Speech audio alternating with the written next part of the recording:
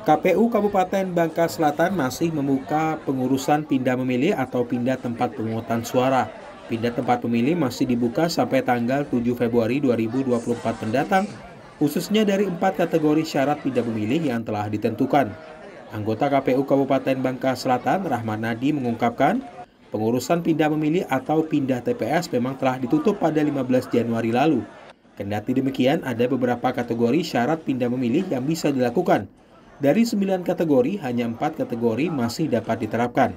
Rahmat Nadi mengungkapkan 4 kategori yang masih bisa dilakukan untuk pindah pemilih, yakni pemilih yang sakit dan dirawat di rumah sakit, tertimpa bencana alam, pemilih menjadi tahanan, serta pemilih yang bertugas saat pelaksanaan pemilu.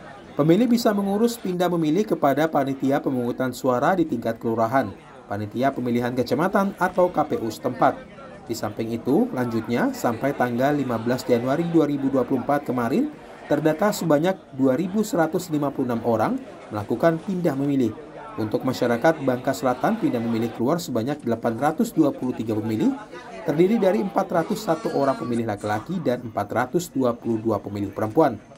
Sementara itu, untuk masyarakat luar yang pindah memilih ke Bangka Selatan, justru lebih banyak.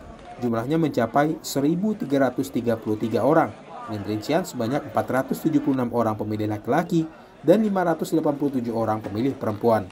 Jumlah itu tersebar di 8 kecamatan untuk 555 TPS yang telah disediakan. Mayoritas dari mereka baru melakukan pindah domisili menjelang batas akhir masa pindah memilih sampai 15 Januari 2024. Uh, eh, tetap dilakukan uh, pendataan untuk pindah memilih, cuman kategorinya saja yang awalnya 9 kategori yang kita fasilitasi dan sekarang dari tanggal 16 Januari sampai dengan 7 Februari itu hanya untuk empat kategori saja. Apa itu saja itu? Fasilitasi.